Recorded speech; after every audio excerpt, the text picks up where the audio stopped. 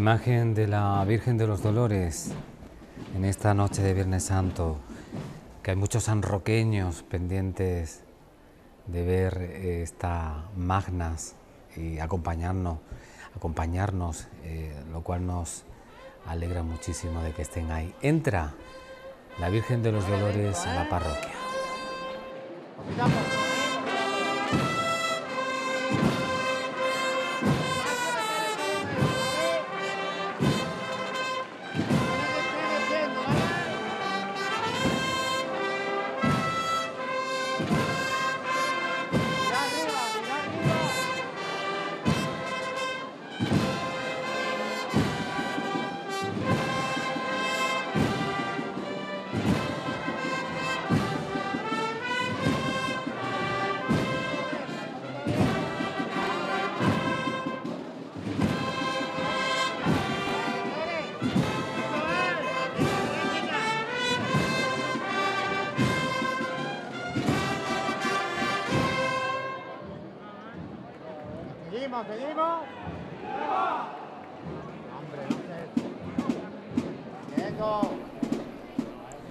Ahí se escuchan los sonidos de, lo que está pasando ahí, ¿no?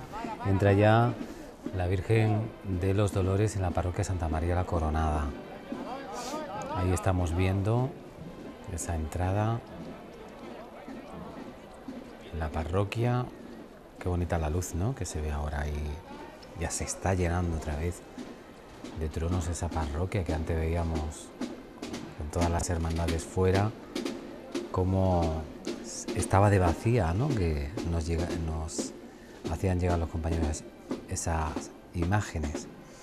Se nos marcha esa agrupación que ha acompañado a esta hermandad y que es eh, la agrupación musical Santa Cecilia de Sevilla y otra de las hermandades que vemos ya también en la plaza de la iglesia perteneciente al paso de misterio del Calvario. Voy a aprovechar para mandar saludos que nos mandan también desde eh, el Facebook de Multimedia. Rubén Almagro dice dar las gracias un año más por hacernos llegar la Semana Santa a los que nos encontramos a más de mil kilómetros. Las gracias a ti por estar atentos a nosotros y por querer eh, vivir este, este momento, que nosotros estamos para contártelo y para estar contigo, Rubén, donde, donde quieras que estés. Tati García desde nos, eh, nos, escribe y nos dice, espectacular procesión de la Magna, orgullosa de ser sanroqueña. Enhorabuena a todos, los costaleros, costaleras, hermanos mayores y todos y cada uno de los componentes que forman cada hermandad, disfrutando de cada segundo. Por favor, pido que se haga minuto de silencio a la entrada al templo, respeto ante todo, pongamos un granito de arena cada uno para que sea posible. Mil gracias a todo el equipo que nos han dejado pasar ni un detalle, buen trabajo. Muchas gracias, Tati, ¿eh? por ofrecernos este comentario y a ti te ofrecemos la luna de San Roque. Mira qué bonita está, esta luna de Viernes Santo. ¿eh? Pues para ti. David Vaca eh, nos dice, gracias por acercarnos a la Semana Santa. Gracias a ti también, David. Nos vamos a la plaza de la iglesia porque está el paso de misterio ahí entrando. Vamos a quedarnos ahí.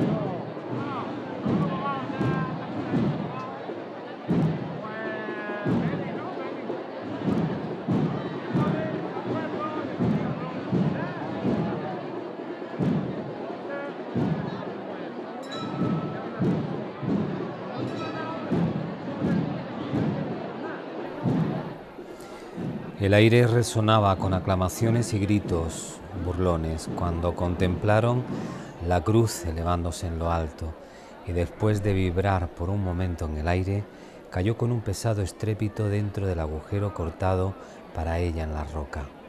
Pero palabras de amor y compasión resonaron a través del aire en el mismo momento.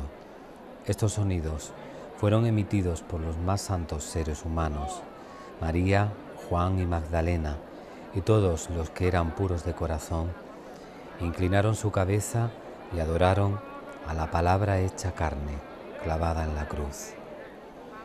Testigo de la sinrazón, con esos hachones que le iluminan, que velan por su descanso y que será una realidad convertida en paso lento de sus cargadores por las calles sanroqueñas. El paso del Calvario. Y ahí vemos los sanroqueños, campos gibraltareños, que están disfrutando de esta noche de Viernes Santo en los momentos de la recogida de las hermandades. La hermandad de la Veracruz en el Calvario es la hermandad más antigua de San Roque, con origen en Gibraltar. Tenía iglesia propia en la calle Real, la principal del Peñón, tal como se relata y como nos relata el cronista Hernández del Portillo, historia de la muy noble y más leal ciudad de San Roque, manuscrito en el que se afirma que la cofradía de la Santa Veracruz tiene una buena y alegre iglesia en la calle Real. Por lo tanto, se ha dado en el año 1610, fíjense, siglo XVII, como el más tardío en cuanto a la existencia de la cofradía. Nos encontramos probablemente ante la hermandad más antigua de San Roque, la que ustedes están viendo, la primera cofradía creada en Gibraltar, aunque se desconozca la fecha exacta del inicio de su andadura. Tras la ocupación británica del Peñón, la iglesia fue convertida en barracones para las tropas. Ya establecida la cofradía en San Roque, en el siglo XVIII, en 1717, se donó a Juan de Silva una capilla para colocar en ella la imagen, donación que no se formalizó hasta 1720. En ese mismo año el rey ordenó que se hicieran rogativas para librar a la población del cólera que existía en Marsella. Con tal motivo, en la ciudad se organizó una procesión con el Cristo de la Veracruz. La misma ciudad acordó la procesión de la imagen en solicitud de lluvias en mayo de 1780, en el siglo XVIII, por ello el nombre del Cristo de las Aguas. Del mismo modo, la epidemia del cólera que afectaba a la provincia gaditana hizo eh, que el domingo 17 de octubre de 1819 se organizase una solemne función religiosa dedicada al patrón San Roque, un religioso franciscano venido del convento de los Ángeles de Jimena, fue el encargado del sermón en la parroquia de Santa María la Coronada. Por la tarde tuvo lugar una procesión que fue acompañada por numerosos vecinos. Las imágenes religiosas portadas fueron las del Arcángel San Rafael, María Magdalena, San Sebastián, San José, San Roque, Cristo de la Veracruz y Virgen de los Dolores. El cronista Lorenzo Valverde escribe que en la calle San Felipe iba oscureciendo con lo que lucían con admiración la multitud de las velas encendidas que por no haber viento ardían con igualdad. En lo más hondo de la calle, dicha predicó el señor vicario don Manuel Villalba un sermón cortito pero instructivo.